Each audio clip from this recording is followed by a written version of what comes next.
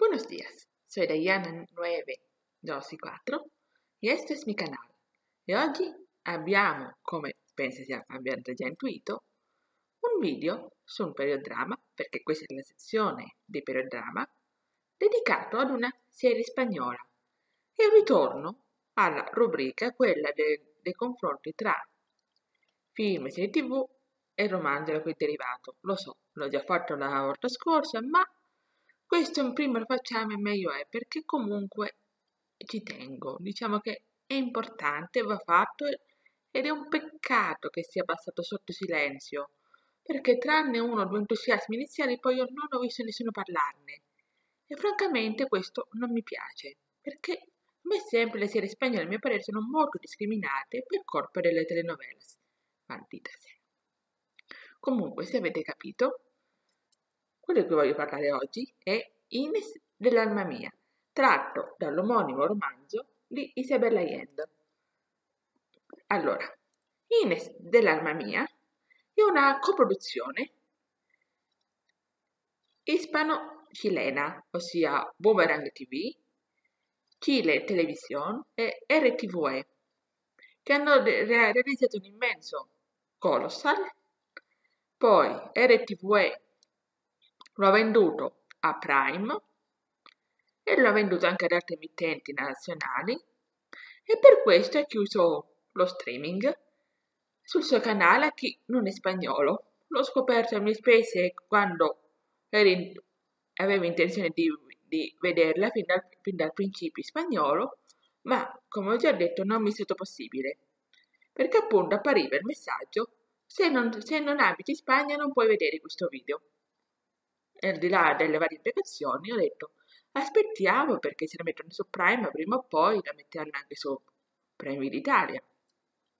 Da, noi invece l'è aggiudicata Canale 5 che l'ha mandata in formato come sempre due puntate unite per tutto il mese di agosto, tant'è che domenica è terminata l'ultima puntata. Come già detto è divisa in otto puntate Copre tutto il libro, non in maniera fedele. Ma forse più fedele alla storia di quanto sia il romanzo. Ora vengo e mi spiego.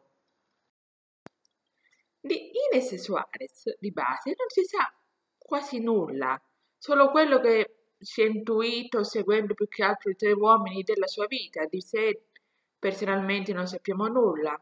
Si sa che è stata una delle pochissime donne che hanno preso parte attiva alla conquista del Sud America, si sa della sua relazione con Valdivia che non può essere smentita in quanto le fonti e gli atti ci provano che era l'unica donna e che quindi in qualche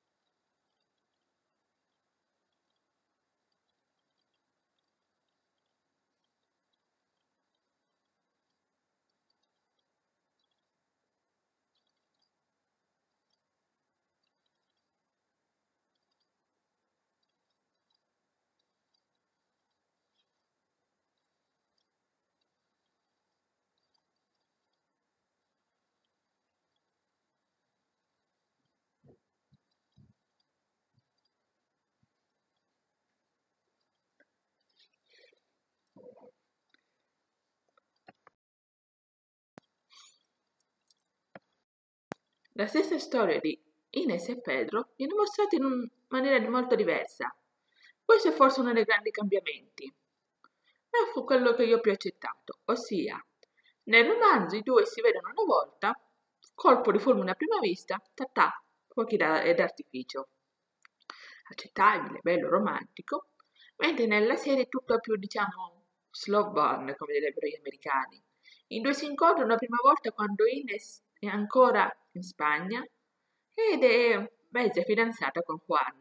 Hanno uno scambio, ma nessuno dei, dei due ci ripensa più e si rivedono poi a Cusco dove lentamente comincia la loro storia d'amore. È una visione un pochino più probabile D'altro canto, anche nel romanzo il personaggio di Ines ammette che lei poteva aver incontrato Pedro, che lui poteva averla incontrata, ma che non, diciamo, non avevano badato all'altro, che erano troppo diversi per poter avere un vero scontro o comunque potersi davvero ricordare dell'altro. E questo è interessante vedere. Nelle serie quindi loro sono come dire preordinati, come se il loro successivo incontro fosse un segno del destino. Anche, diciamo, la storia con Rodrigo de Quiroga viene mostrata sotto lo stesso ambito. Nel romanzo sì, sembra diciamo, un fuoco che cova sotto le ceneri per anni, poi tac, esplode anche questo, che è lo stile della Allende di solito. Qui invece diciamo è qualcosa che nasce lentamente, prima un'amicizia, poi una stima, poi infine un amore sentito, tenero e infine il matrimonio. Ce ne mostrati in maniera diversa tra la serie e il libro in cui Pedro viene ancora di più caricato come sì un uomo buono, un uomo misericordioso, un uomo con un sogno ma che si è perso a causa della sua sete di conquista, di denaro, di desiderio di fama.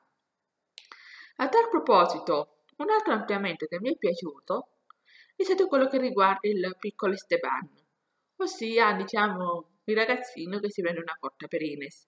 Nel romanzo una o due pagine proprio così per dire un diversement, una parentesi, mentre qui è qualcosa di molto più graduale e ci fa intuire come il ragazzo abbia notato Ines, si sia innamorato, barra infatuato di lei e abbia maturato la, la sua idea che Ines sia costretta a servire Valdivia come una donnaccia. Nel romanzo, essendo solamente dal punto di vista di Ines, è una digressione quasi inutile. Quindi è un bene. Viene ampliato, ma non troppo, il ruolo della domestica Catalina. Viene invece diminuito il ruolo del personaggio di, di Cecilia, che d'altra parte è un personaggio puramente fittizio. Io al suo tempo ho cercato in internet e non risulta che un personaggio simile sia esistito. Vengono ampliate anche le parti di Cusco, a detrimento di parti di quelle di Santiago, Vengono eliminati alcuni personaggi, tra cui, e questo a mio parere è un grandissimo svantaggio, il personaggio di Isabel de Quiroga, la figlia di Rodrigo, che la ebbe sembra da un'indigena, comunque una serva di origine quechua, forse mapuche, non si sa. Sia solo che quando Ines nel 47, nel, anzi nel 49 lo sposò, Rodrigo de Quiroga aveva già questa bambina ma la madre non c'era più. Pertanto nella serie l'hanno tolta, ma per me è stato l'unico errore grande. Anche perché comunque non c'è diciamo, la postfazione del, di Ines anziana che, che racconta la, la sua vicenda, che la scrive. Quindi si può togliere. Si amplia molto anche il ruolo, diciamo, di Cusco, del, degli intrighi attorno ai fratelli Pizarro, in cui si inserisce il personaggio di, di Sancho de la Orsi, che assume diciamo una certa tridimensionalità. Molto interessante e che avrei voluto fosse ampliato è il rapporto tra la popolazione Quechua, ossia Inca, come si dice in Occidente, e i Mapuche, ossia questo rapporto sì, di un po' di superiorità da entrambe le parti. Da un lato i Quechua, ossia Inca, ossia il 90% quelli da cui io discendo, avevano tentato di conquistare i Mapuche, in quanto erano superiori sia per armamenti sia per tecnologie, ma i Mapuche erano di più, erano più agguerriti, più combattivi, tanto che lo scontro tra l'inviato Mapuche e l'inviato Quechua richiama un po' questa sorta di differenza tra uno che lo definisce selvaggio e l'altro che lo definisce fantoccio debole, insomma, debole e raffinato, come se appunto fosse uno scontro che viene momentaneamente accantonato proprio a causa degli spagnoli. Diciamo che molte vicende che riguardano la presa dell'impero Inca non sono state inserite, sarebbero state troppo, troppo avrebbero appesantito la storia. Anche la lotta tra Almagro e Pizarro viene tralasciata, viene mostrata molto velocemente. La rivolta contro i fratelli Pizarro viene anche quella mostrata tac tac tac. E uno può intuire che è venuto che Pero viene richiamato. Quindi sì, fatto bene, fatto a modo suo che si distacca, ma con un garbo, ossia viene fatto bene, viene mostrato che dietro c'è attenzione. Non so se avrei preferito qualcosa di più aderente al romanzo, che è uno dei miei preferiti della Yend, o se avrei preferito qualcosa di più staccato. Francamente questa scena mi è, mi è molto piaciuta, devo dire. Veniamo ora al cast, che è giusto. Allora, nel ruolo di Ines abbiamo Elena Rivera, mia coetanea, che è anche lei del 92, lei di giugno, io di aprile, che a differenza di come viene descritta nel romanzo, ha una forte chioma rossa palesemente tinta. Questo per rendere, diciamo, più evidente Ines, per farla apparire, come si dice dalle mie parti, spiccare tra gli altri. Infatti nel romanzo l'unica descrizione di Ines ce la dà di capelli neri come gran parte delle, delle spagnole, qui invece hanno scelto di differenziarla.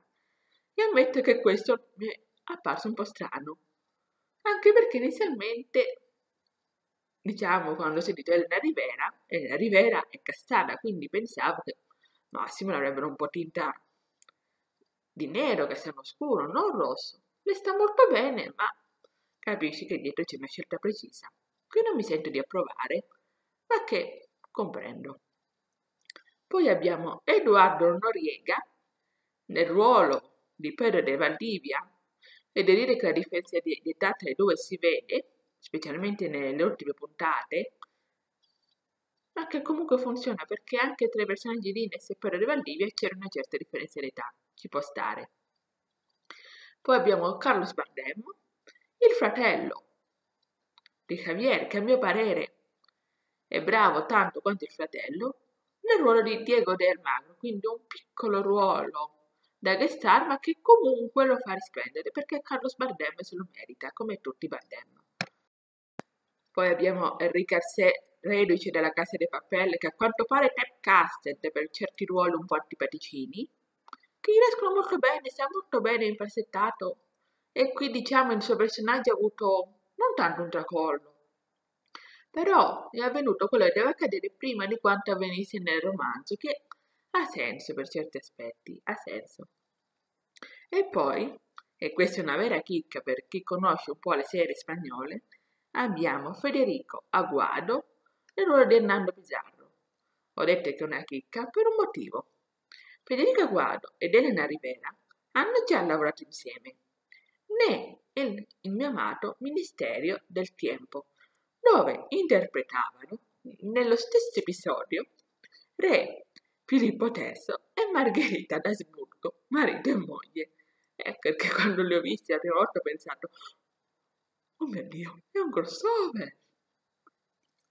Perché RTV ogni tanto questi scherzetti li fa. Quindi, come ho già detto, a me la serie è piaciuta molto.